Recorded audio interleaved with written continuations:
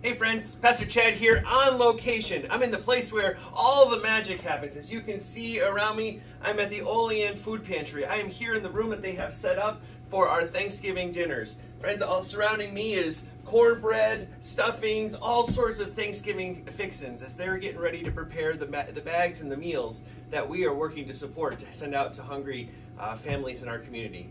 Friends, as Christians, we know that no belly should go to bed uh, hungry at night. So our goal is to help support the Olean Food Pantry in their mission to feed empty bellies and to support our community. As you know, we've been collecting funds for the Thanksgiving dinners. You've been looking for those envelopes found in the narthex. And um, our goal is $3,000. Now, this might seem like a huge number, but friends, that's the number we've been using for the past several years.